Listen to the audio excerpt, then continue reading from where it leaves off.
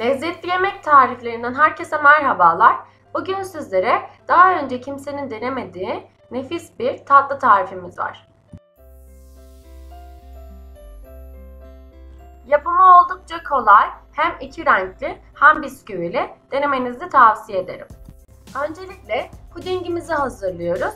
Tenceremizin içerisine bir paket hazır puding ve 3 su bardağı sütümüzü alarak koyulaşıncaya kadar sürekli karıştırarak pişirelim. Pudingimizin hazırlanma şeklinde 3,5 su bardağı süt yazıyor arkadaşlar.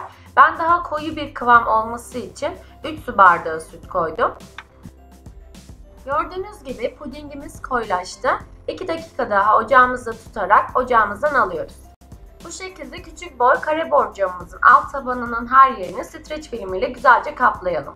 Hazırlamış olduğumuz pudingimizi sıcak şekliyle içerisine boşaltalım. Muhallebisi için tenceremizin içerisine 3 su bardağı süt, yarım çay bardağından bir parmak fazla şeker,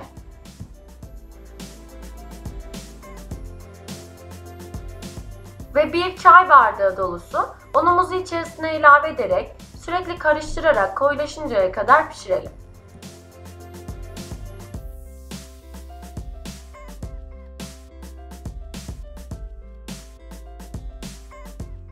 Kaynayıp koyulaşan muhallebimizin içerisine bir paket şekerli vanilya ve bir yemek kaşığı margarin veya tereyağımızı ilave ederek şekerli vanilya ve margarinimizin erimesi için iyice karıştırıyoruz.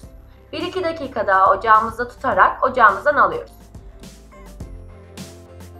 Pudingimizin üzerine kakaolu burçak bisküvilerimizi süte batırdıktan sonra diziyoruz.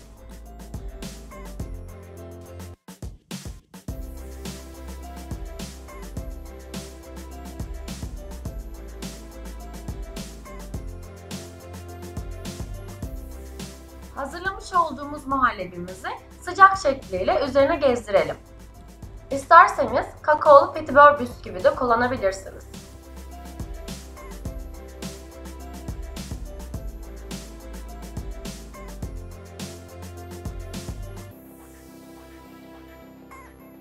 Üzerine bir kat daha kakaolu burçak bisküvilerimizden diziyoruz.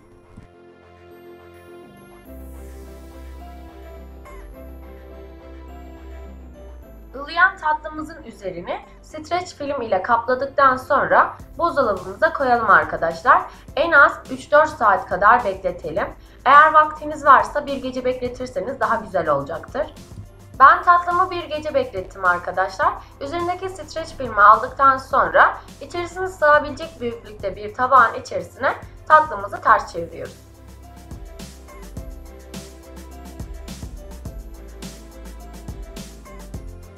Üzerindeki streç filmimizi alıyoruz.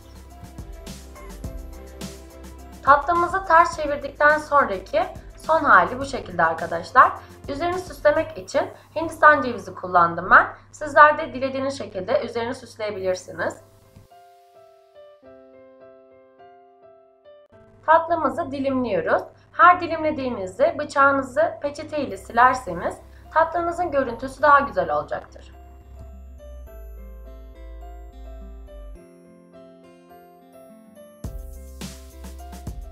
Gördüğünüz gibi arkadaşlar daha önce kimsenin denemediği iki renkli ve bisküvili tatlımız servise hazır.